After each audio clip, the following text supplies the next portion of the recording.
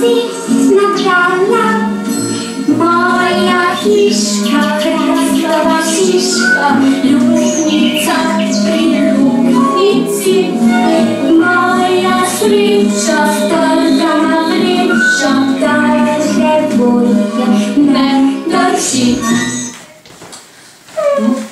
Mojca pokraculja je pometala hiško in našla med smetmi cekinček.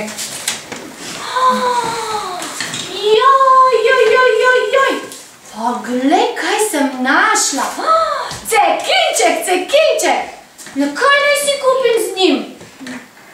Že vem, piskarček si kupim. Mojca pokraculja se je kupila lep rdeč piskrček z belimi pikami. Zvečer je zvedla van, legla in zaspala. Zunaj pa je bil hud mraz in padala je slana. Mimo piskaczka nie piskakljal zajček.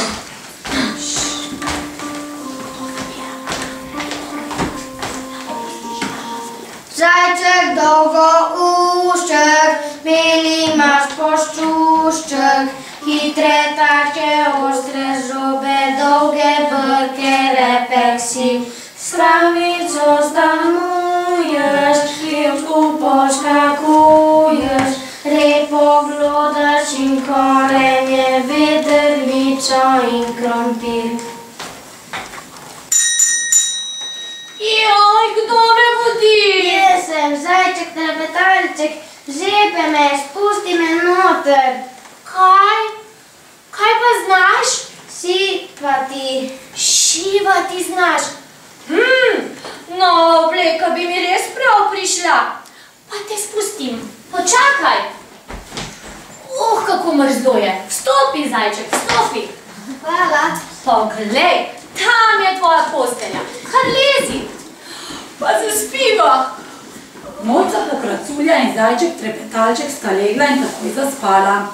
Še preden sta se v spanju prvič obrnila, je pred hišico priletel majhen metulček, ki je iskal zatočišče pred mrazom. Metulček lepi.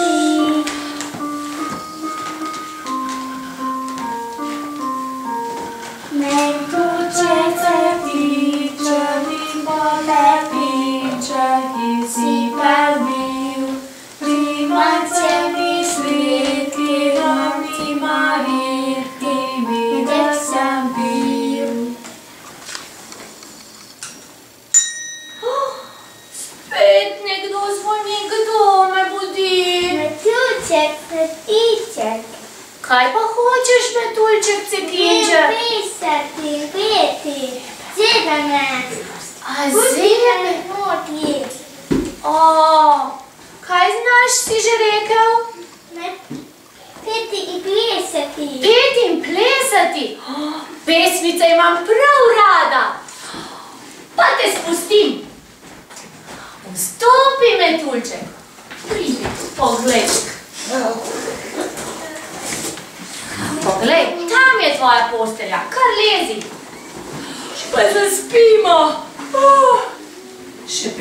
Dobro legli v posteljo, se je zunaj zaslišalo glasno lajanje.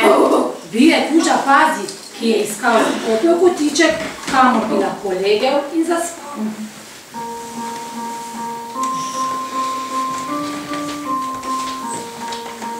Kuda pazi za komino, stane ječe tačko da. Hišo čuvaje, znojo je, te nikoma ni doma. Kopajuče citi banje, Lulin se odpravi spat. Kuda znašte drata jeje, na njem zavneju črtat. Pa še kar nekdo zvoni. Joj, joj, joj. Kdo me budi? Pazi, Kuža, pazi, kaj hočeš? ne me, pusti me noti. znaš? Odcivati hihico. Čuvati hišico. Hmm, čuvaj bi mi prav prišel. Nikoli se ne ve, kdo pride mimo moje hišice. Pa te spusti. Počakaj. Vstopi, vstopi. Hvala. Prosim, poglej, tu je tvoja postelja. Kar lezi. Upam, da nas nihče več ne zmoti. Pa zaspimo. Mojca pokraculja je bila že pošteno huda. Želela si je samo zaspati, toda noč še daleč ni bila mirna. Kmalu sladkuško je se je k piskrčku prikradla lisička zitorepka. Lisička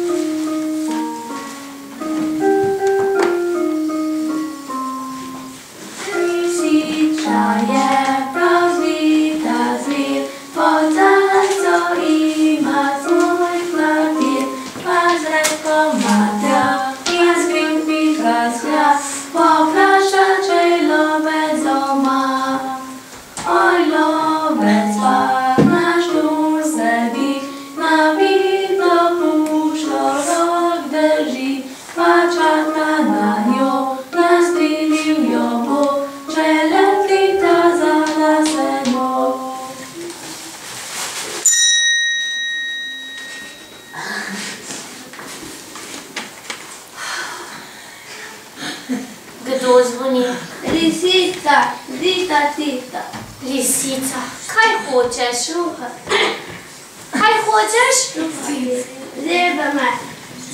Poti me noter. Lisico, da spustim v svoj piskrček. Ja. Ja, kaj pa znaš? Sluhati. Kuhati. A nam boš kaj dobrega skuhala? No, potem te pa spustim. Stopi, lisica. Kar stopi. Poglej, tu je tvoja postelja. O, si utrujena. Zaspimo, zaspimo, prijatelji. Mojca pokraculja in njeni prijatelji so se stisnili vsak pod svojo idejo in skušali zaspati. Bili so že stra strašno utrujeni in želeli so si samo tople postelje in malo miru. A zunaj je hlad in mraz vratom piskrčka poslal še eno majceno bitje. Ubogo majhno miško, ki je vsa zgubljena iskala majhno luknjico, kamor bi se lahko skrila pred hladnim vetrom.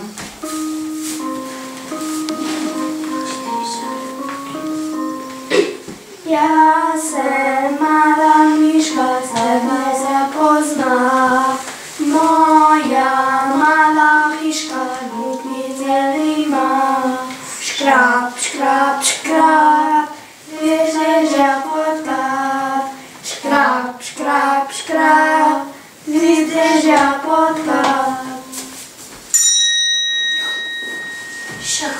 konca.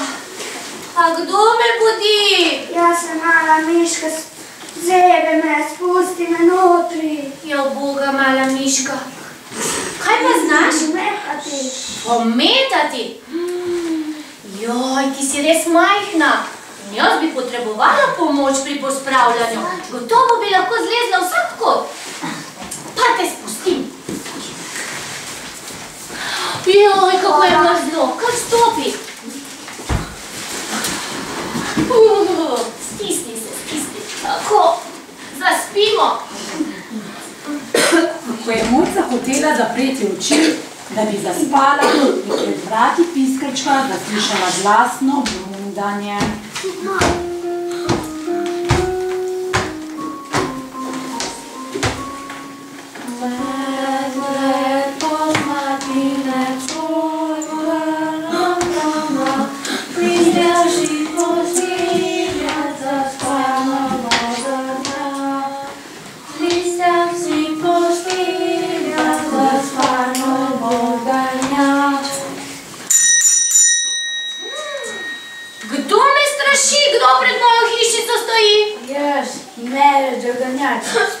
spusti me noter, zebe me. Joj, medved, ti si tako velik, moja hišica pa je tako majhna.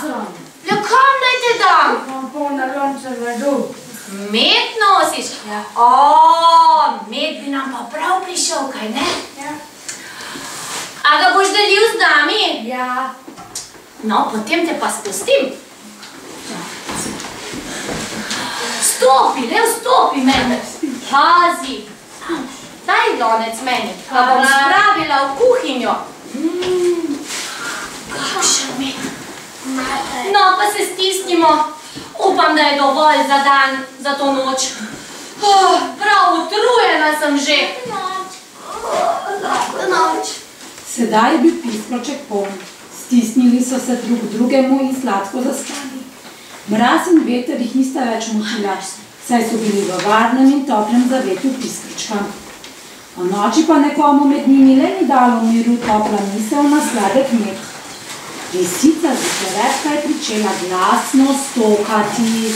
Trepo boli. Pa kaj stokaš, lisico, pojdi v kuhinjo in si skuhaj kamilic. Lisica je vstala in odšla v kuhinjo. Tako je naredila trikrat, pa ji ni prav nič čipalo po trebuhu in tudi kamilici ni kuhala.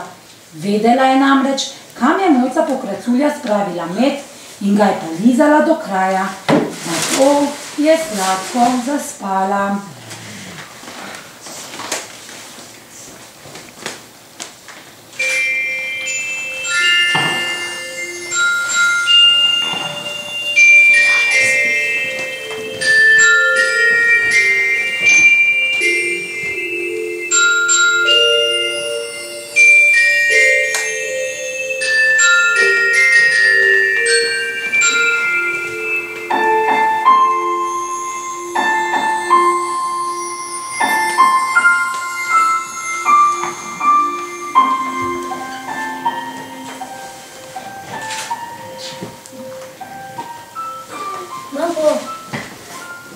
Pričelo se je daniti.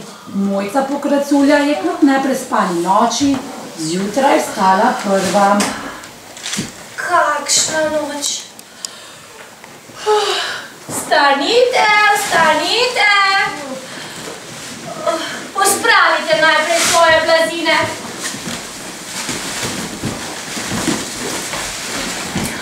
Čas je za delo, da vidim, kaj res znate. Hm, ampak preden gremo na delo, ste gotovo kaj lačni, ne? Ja! Medved, a greva po med? Ja, počakajte tukaj. Mili medved. Ni medu! Pojdiva pokazati ostalim.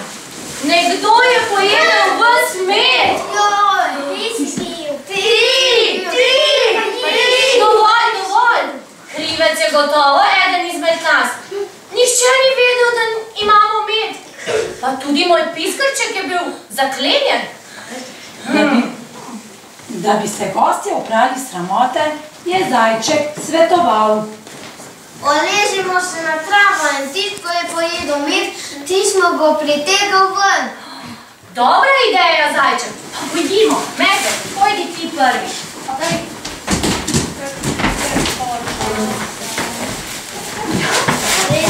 Res da.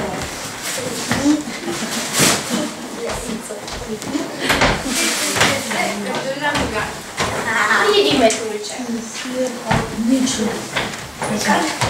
Vsi so legli pred piskročkom na travo in takoj zaspali. Lisica pa je imela slabo vest in je zato vedela.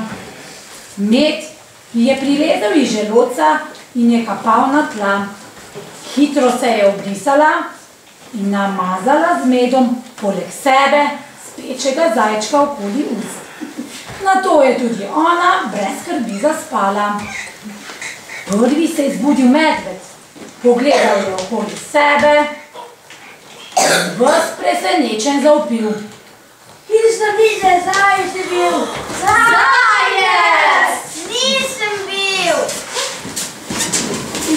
Poglejte zajca, kako se mu med sedi. Nisem bil. Medtem, ko so se ostali prepirali, se je lisica v ozadju le tiho smejala ter razmišljala, kako bi jo odsvrla v gost. Hi, hi, hi. Nekaj ni v redu. Poglejte lisico, poglejte, njene tačke so od medu. Lepljive ste so. Kaj predlagam? Dajmo vprašajmo otroke. Kdo je pojedel v svet? Psica! Psica! Ti ptica! Vidim tiča. A ste jo videli? Sploh se nam ni upravičila, kar odsvrla jo je. A se vam zdi to prav?